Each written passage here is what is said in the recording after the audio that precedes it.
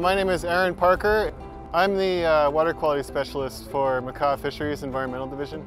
I see it as a great privilege and also a great responsibility and I'm glad to be a part of it.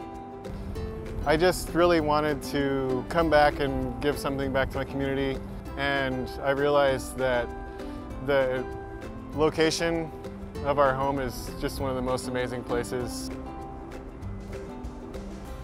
I'm a, a member of the Makah tribe and I do a lot of nearshore and uh, in-stream water sampling. Uh, we monitor for HABs, that's uh, harmful algal blooms, uh, looking for red tide.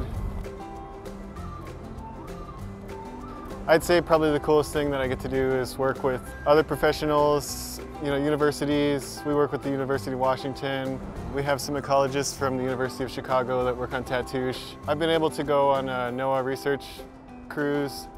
That was a lot of fun. I think my best advice would probably be to decide on what you want to do while you're in school and stick with that. Ecology-based jobs uh, are in the field a lot and really get to see a lot of cool things, uh, visit a lot of cool places. If you're not looking for an office job, it's definitely not an office job.